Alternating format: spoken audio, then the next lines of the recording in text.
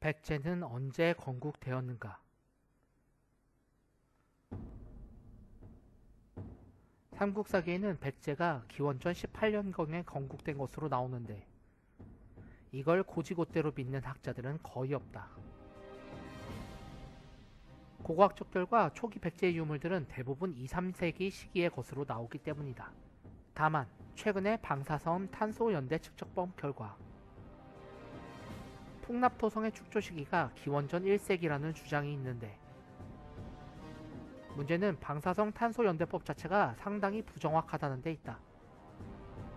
수억 년 단위라면 모를까 수천 년 단위를 측정하는 데에는 오차가 너무 커서 신뢰성이 급격히 떨어지기 때문이다. 그런가 하면 측정 결과 중 이로운 자료들만 뽑아서 취사 선택할 수 있는 여지가 있기도 하다. 때문에 주류학자들은 대부분 2, 3세기 초고왕 시절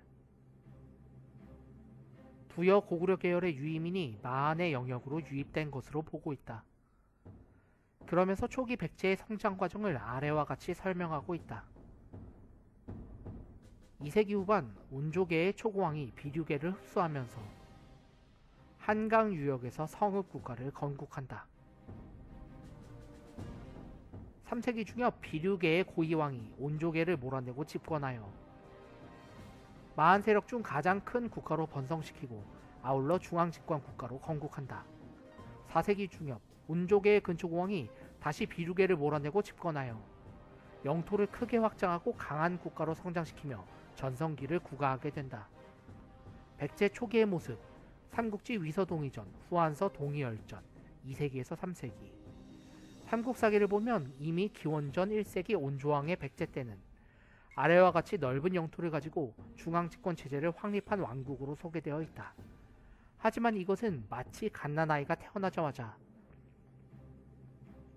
걷는 수준을 넘어 뛰는 것과 마찬가지이기 때문에 바로 믿기에는 어려움이 있다.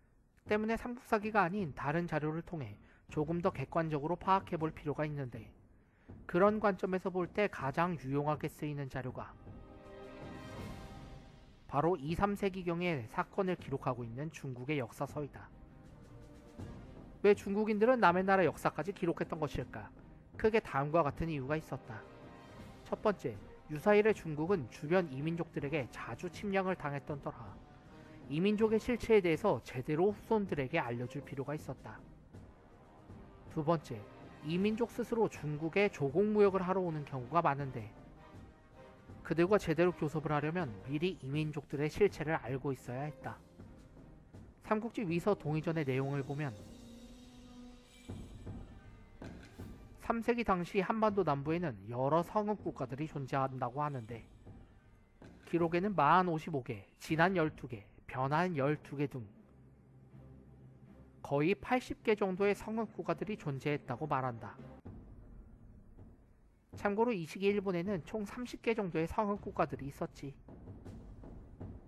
이중 백제는 마한에 속한 작은 성읍 국가 중의 하나였고 당시 성읍 국가들 중 가장 강력했던 국가는 천안 일대에 위치한 목지국이었다. 여기서 후한서 삼국지 위서에 적힌 당시 마한의 모습이 어떠했는지 간략히 설명해보자. 첫 번째, 백성들은 성읍이 없는 음락에 어수선하게 뒤섞여 살며 땅을 파서 움집을 만드니 그 모습이 마치 무덤과도 같았다. 두 번째, 사람들은 대개 상투머리라고 삼배로 만든 도포를 입었다. 귀족들은 가죽신을 신었지만 평민들은 집신을 신었다. 세 번째, 일복과 음식은 기본적으로 고구려와 같았고 옷을 입을 때는 모자 쓰기를 즐겨했다.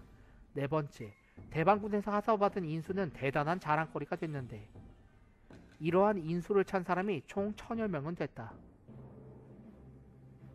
참고로 인수는 아래와 같은 관인을 달기 위한 끈을 말한다. 다섯 번째, 농사와 양잠을 할 줄 알며 길쌈으로 배를 짤 줄 안다. 여섯 번째, 이곳 사람들은 금, 보화, 비단, 모직물 등을 귀하게 여기지 않는다. 일곱 번째, 동물과 초목의 식생은 대체로 중국과 비슷하여 오곡, 과일, 가축, 술과 안주 등은 중국과 같았다. 하지만 이곳의 밤알은 무척이나 크다. 여덟 번째, 사람들은 소나 말을 타고 다닐 줄 모른다. 대신에 소나 말을 장례용으로 썼다. 아홉 번째, 해마다 5월, 10월에 큰 명절을 지내는데 이때 밤낮으로 술을 마시고 떼지어 노래 부르고 춤을 춘다. 열 번째, 음락마다 각각 한 사람씩 제사를 주관하는데 이 사람을 천군이라 부른다. 열한 번째, 소도로 도망온 사람은 누구든 돌려보내지 않았기 때문에 소도가 만들어진 이후 마한의 백성들은 부쩍 도적질하는 것을 좋아하게 되었다. 열두 번째, 온 집안 식구가 한 집안에 함께 살았지만 특별히 어른과 아이, 남녀의 분별을 따지지 않는다. 열세 번째, 사람들은 씩씩하고 용감하여 어린 소년들도 성을 쌓고 집 짓는데 힘을 보탠다. 열네 번째, 마한의 남쪽 지방에는 문신을 한 사람들이 많았다. 한성백제의 수도 위례성, 풍납토성. 한성백제의 수도였던 풍납토성은 밑변 30m에서 40m의 거대한 토성이었다. 돌 성벽이 아니기 때문에 수직 경사가 아니어서 다소 방어에 취약하긴 했지만 내구력만큼은 상당했다. 만드는 방법은 나무로 뼈대를 만들고 그 안에 흙을 넣어 다지고 또 넣고 다지면서 높여나가는 일명 판축법이었다. 이게 연인원이 100만 명 이상 투입돼야 만들 수 있는 규모라 하여 풍납토성이 완성되는 4세기 무렵의 백제 인구를 총 70만 정도로 추산하기도 했다. 참고로 3세기 마한 전체의 인구는 약 50만 명 정도였지. 풍납토성 안에는 여러 가지 잡기류 등이 출토되었는데 토기, 물레, 그물추, 기와 등의 흔적으로 보아 나름 번영된 문명을 꾸리고 있었음을 확인할 수 있다. 가마를 굽는 가마터도 발굴이 되고 나무 우물도 발굴되었다. 가야 지방의 유물도 출토되어 배를 타고 외부와 교역을 하지 않았나 추측하기도 한다. 백성들의 운망은 대략 이런 형식이다. 대략 집안 내부가 땅 밑으로 파고든 형태. 풍납 토성 아래 위치한 다소 작은 규모의 몽촌 토성.